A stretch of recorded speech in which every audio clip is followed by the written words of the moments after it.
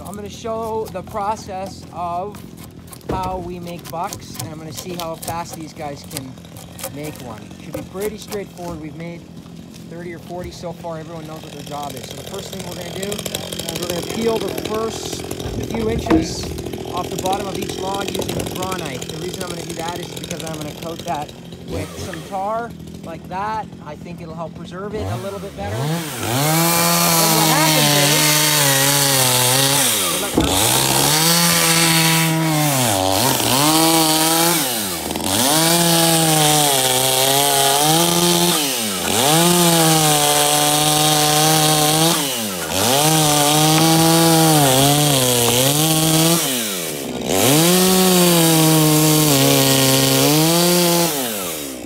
It's a series of notches that have pre-marked after we put it on the jig here.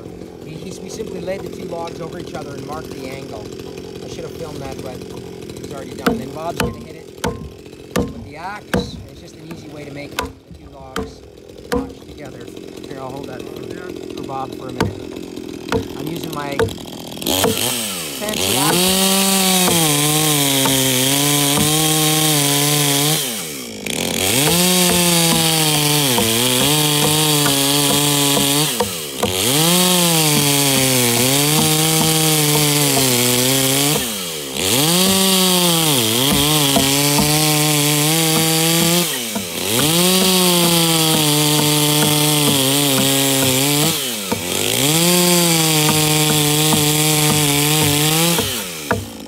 Okay, piece of cake.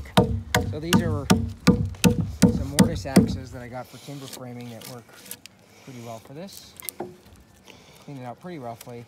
Doesn't have to be perfect. Right here. There's one, that little one. Kurt likes the wider axe better. I'd say something, but this is gonna be on YouTube. Said I'd say something, but this is gonna be on YouTube.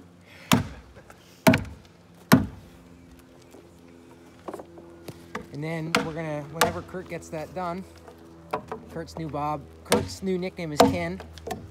Okay. Uh, At least it's not TJ. TJ worse than me. there's, we're not gonna, we're not gonna comment right now. So clean these out, pretty, fairly clean, but not, it's not a log house or something. We don't need to go crazy on it here. And then this is where the jig is super helpful. We know the degrees, we've already had it marked out. We just simply lay the two of them together. We make sure that that's gets beat down in there. Then we simply take, I'm gonna whack it a couple times. Bob's gonna take a couple six inch TimberLOKs. One from that direction. When everyone's working fluidly and Ken's doing his job, the next step is simply to put the bottom cross brace on. There's the top. Now we're gonna do a total of two screws on each end of this, which makes these bucks somewhat expensive when it comes to screw price. But given that we're holding cows and moose and bears and everything else, big animals, uh, I'm gonna spend the extra dollars. One, two. One, two. There it goes. There it goes.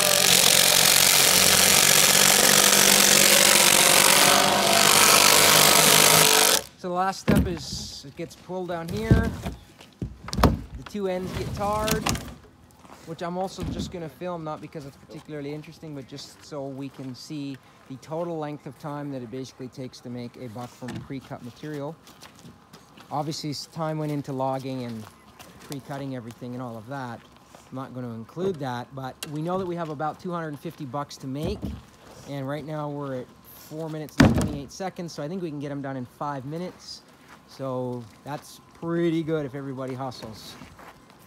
So you can see them just gooping the tar on there. Doesn't need to be fancy, doesn't need to be perfect, doesn't need to be pretty, just needs to be somewhat effective. Tar is cheap. It's a 50 or 60 bucks for five gallons, so just goop it, goop it, goop it. Here we go. The whole world's waiting on Ken. That's basically the nature of things, and we're done. So that's how you make a buck using a jig.